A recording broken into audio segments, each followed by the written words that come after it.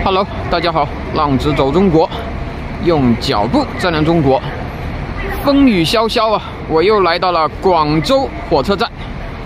现在是春运时期啊，广州火车站的人流量非常的大。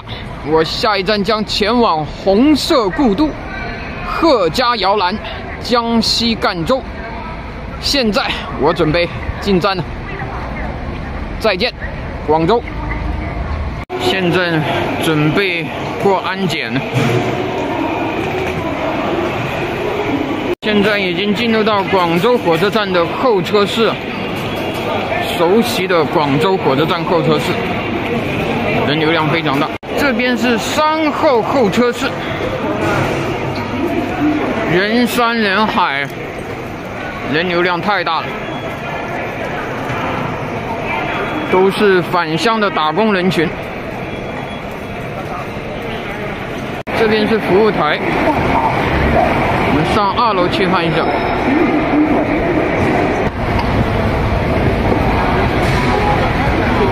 这个人流量也太大了。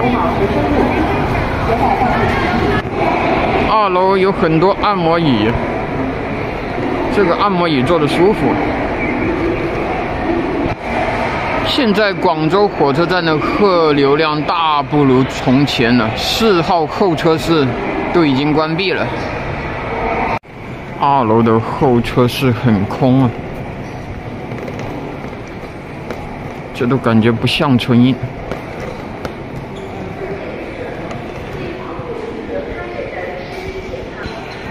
广州火车站曾是无数打工人南下的第一站。这里有着很多打工人酸甜苦辣的回忆。这都是等候火车的旅客。现在私家车越来越多了，所以坐绿皮车也没有那么拥挤。旅客人群大多数以打工人群为主，因为打工人群没什么钱，只能坐绿皮车。我去找一下我的扣车点在几号扣车室？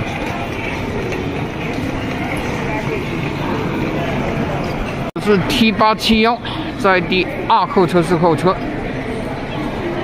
这个扣车室的人流量还是挺大的。已经开始检票了，人山人海，人流量太大了。堵的人走都走不动了，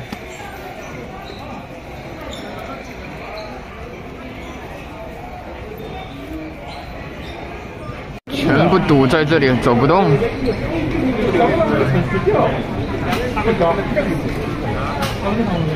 那边就是绿皮车，熟悉的绿皮车，离别的车站。进个站像千军万马过独木桥，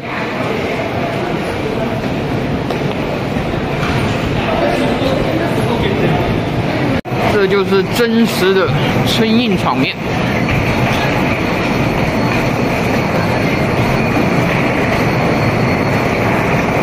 我是三号车厢，在前面。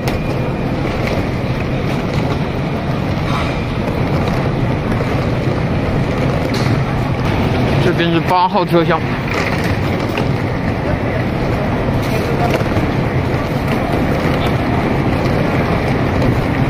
抓紧时间。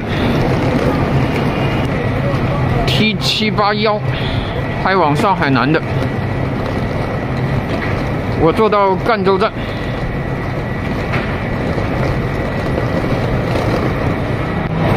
前面就是三号车厢。上车了，已经上车了，还好没有想象的那么挤。火车缓缓地开出了广州火车站，窗外烟雨蒙蒙。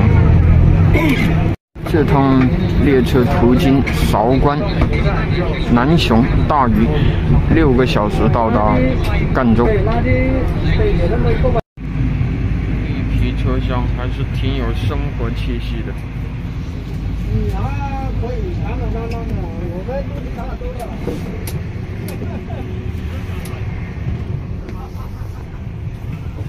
现在春运远远没有以前那么挤了。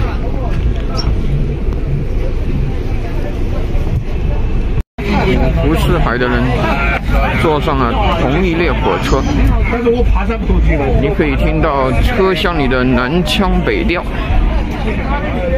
漫漫返乡路。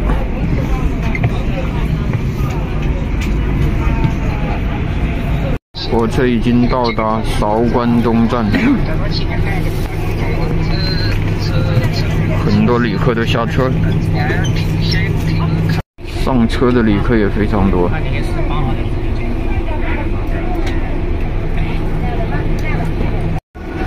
南雄火车站已经到了，下一站将开进江西省。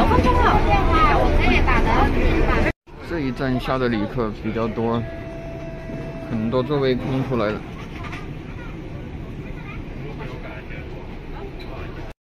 这一站上车的旅客不多。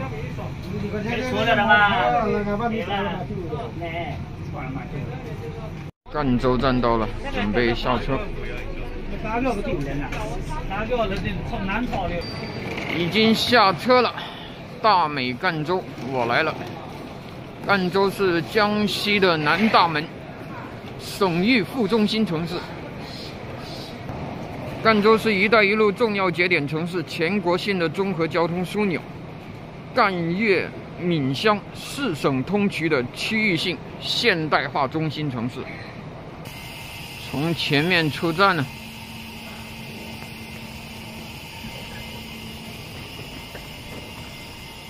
赣州有着“江南宋城”的美誉。赣州是国家历史文化名城，中国优秀旅游城市，有着“红色故都”、“客家摇篮”的美称。没电梯的，要提行李箱。赣州是客家民系的发祥地和客家人的主要聚居地之一，全市客家人口占了百分之九十以上。赣州是客家先民中原南迁的第一站，赣州也是世界城乡。前面刷身份证出站。现在我已经抵达赣州火车站的站前广场，上面写着“红色故都，客家摇篮”八个大字。赣州火车站的站房非常的具有特色，这边是一个马踏飞燕的雕塑。接下来我将开启我在赣州的旅行故事。